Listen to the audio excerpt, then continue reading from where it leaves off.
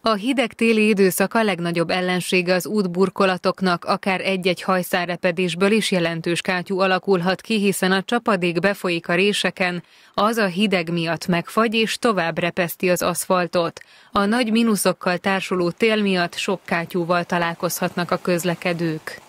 A Magyar Közút Nonprofit ZRT szabolcs szakmár Bereg megyei igazgatósága ebben az évben 13,5 ezer tonna kátyúzó keverék beépítését tervezi, melyből 2,5 ezer tonna kézi beépítéssel, és 11 ezer tonna pedig finiseres beépítéssel történik majd meg.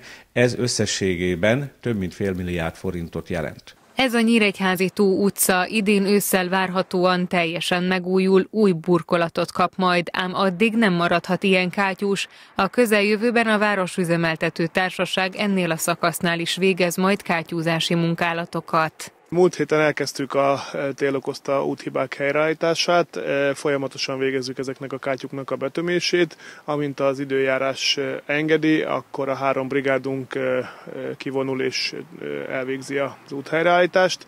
Ez egy ideiglenes helyreállítás, a végleges helyreállítás, azt majd a melegaszfaltos út felújítást fogja hozni, ami május-június hónap környékén tudjuk elindítani. A legtöbb közlekedő bosszankodik a tél okozta kátyuk miatt, sokan várják már a helyreállító munkákat. Nyilvánvaló, hogy mennyire tette tönkre az utakat, és hogy ez mit okoz a járművekben, nap mint nap tapasztaljuk, de gyalogosként is, amikor kerülgetni kell őket, mikor jönnek az autók, szerintem szörnyű és minél előbb jó lenne megcsinálni, de ez a toldozgatás, fordozgatás nem hoz eredmény, mert évről évre ugyanez a helyzet, és egyre rosszabb. A megye több településén többek között Újfehértón is elfogadták az éves költségvetést, a városban idén nem tudnak jelentős útfejlesztési munkálatokat végezni. Összességében a iparűzés adóbevételünk pedig 185 millió forint, tehát világosan látszik, hogy azokra a feladatokra, amire meg egyébként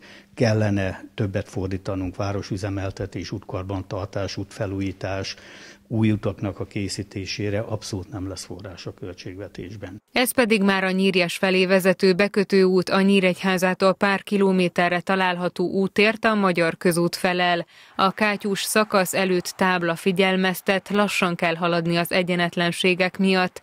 A tervek szerint hamarosan ezen az úton is dolgoznak majd a közút gépei és munkatársai.